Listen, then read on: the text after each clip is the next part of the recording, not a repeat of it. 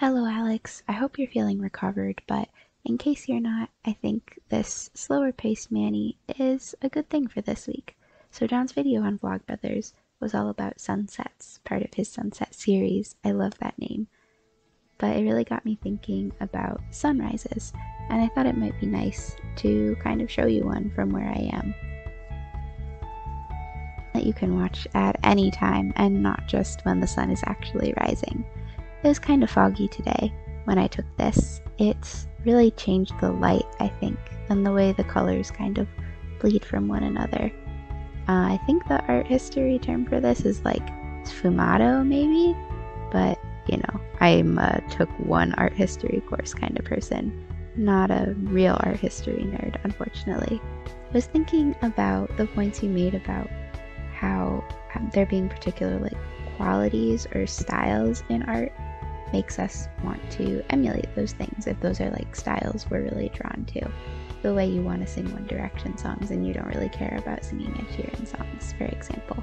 I really like how clearly you managed to focus on that point because if I think about it, that is sort of something I've also experienced. Like, part of the reason I like watching the sunrise or the sunset is that you always get this really interesting blending and bleeding together of different colors they sort of gradient or mix in ways that you wouldn't necessarily expect. Like, I love that the sunrise is kind of simultaneously orange and blue, but not really either one of those. And I find myself really focusing in on the same kind of blurring from one color into another in a lot of my drawings, fish or otherwise. Like, I haven't drawn a, sun- a sunrise fish or a sunset fish, but it wouldn't be out of character.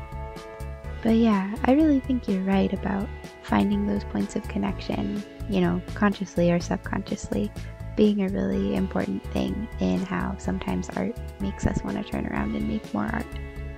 Your stamp art, by the way, fantastic, mesmerizing. I could watch that all day. YouTube does not reflect the number of times I've watched it. I would really love to see actually you stamping the stamp onto something, if that's a possibility. But yeah, that video made me so happy, Alex. Talk about good art. And thanks for having the conversation with me. I'll see you later.